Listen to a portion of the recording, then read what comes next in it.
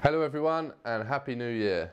My name's Finn and welcome to my journey towards a life closer to boat building and sailing.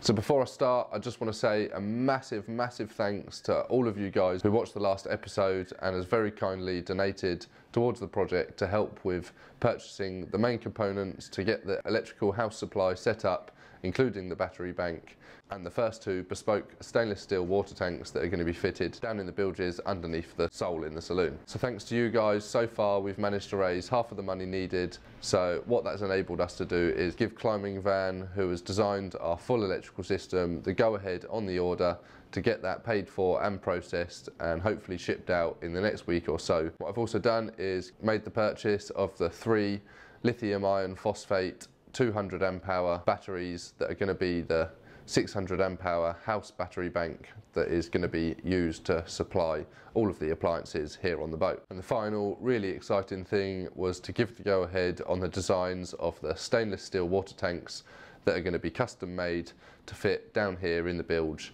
uh, underneath the sole boards in the saloon. Now all of those things have now been paid for and the orders are being processed so hopefully in the next couple of weeks we'll start to be receiving parcels of all of these new components ready to be fitted in the boat. So while I wait for some of the deliveries to arrive, I'm going to make a start back in the engine room which the first job is to build the house battery box which is going to be located aft of the engine beneath the cockpit floor. So the first step is to machine up smoke.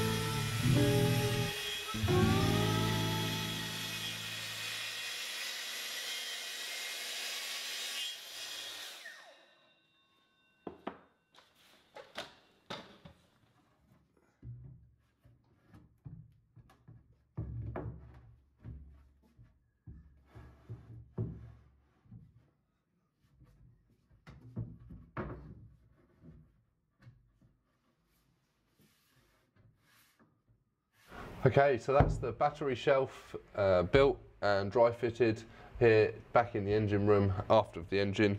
Now with the battery box set at this height, it still gives me good enough access to reach the deep sea seal, which is going to be fitted down here on the stern tube.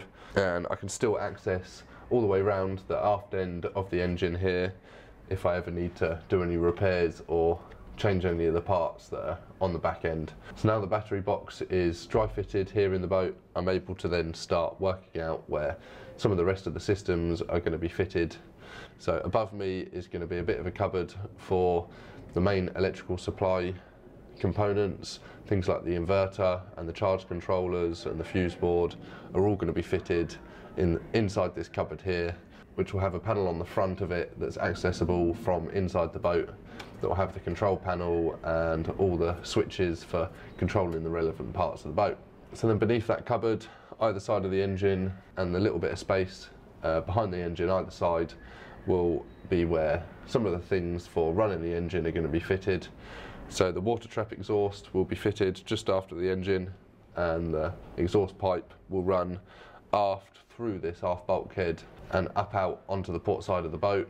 Um, it's going to have a swan neck that comes up to the underside of the deck, which will be set uh, in the very end of this port side pilot berth.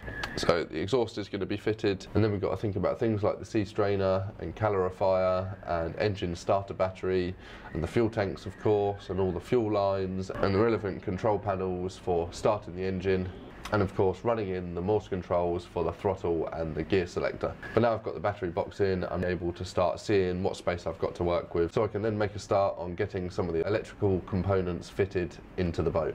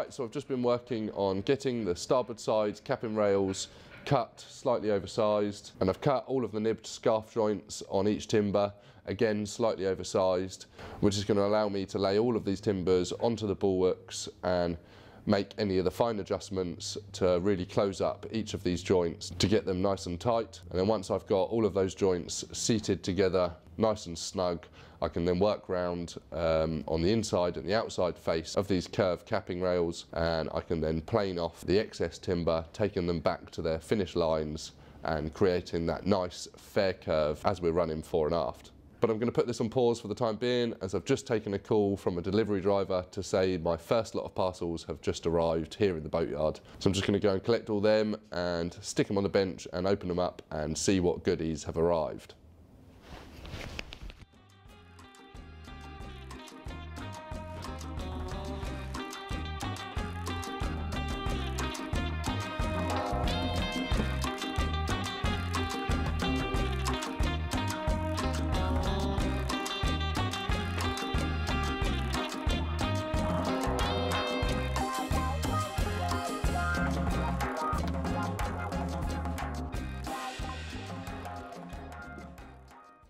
So today has turned out to be quite an exciting day as I've just been and collected all of my parcels that have been delivered from Climbing Van and Ultramax. So what we've got here is all of the components to get the house electric supply set up and installed onto the boat. Minus a couple of things, so I'm still waiting on a couple of components, one being a galvanic isolator which stops any galvanic corrosion um, from any electrical currents being leaked out into the water that might affect any of the metal components on the boat.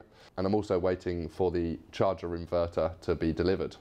So what we've got laid out in front of me is all of the relevant cabling to get all of these components connected up inside the boat.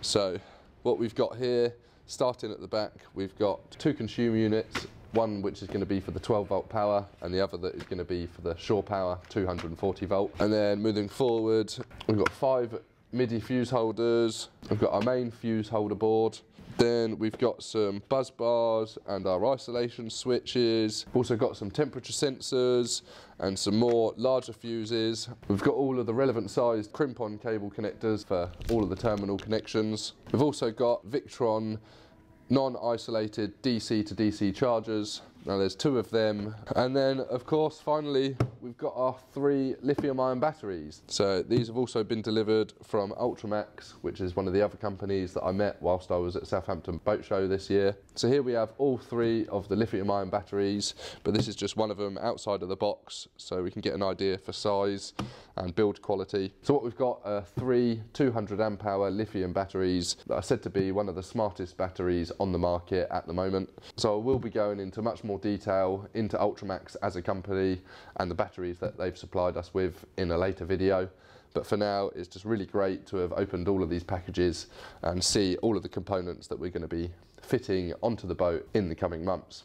So again, I just want to say a massive thanks to all of you guys who watched the last video and very kindly donated some money towards purchasing all of these pieces of equipment that are going to be fitted into the boat. So we're about halfway there to getting all of the major components for the water supply, the electrical supply and the fuel supply. But unfortunately, that's all I've got time for in this episode. Now I know over the last couple of months, the progress on the boat has been a bit slow Uh, as there's been a hell of a lot of planning and conversations going on in the background, as well as having Christmas right in the middle of that chunk of time. There's been a lot going on behind the scenes that I've had to get my head around and to make decisions on that unfortunately it's just not possible to film a lot of this, which has meant that time has been passing and there's not been actually a huge amount of work being done, although some big steps have been made to move the project forward.